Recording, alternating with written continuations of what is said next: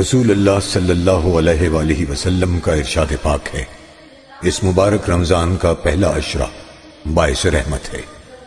اللہم اغفر وارحم وانت خیر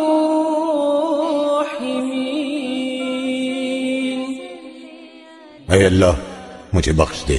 مجھ پر رحم فرما۔ تو سب سے بہتر رحم فرمانے والا ہے۔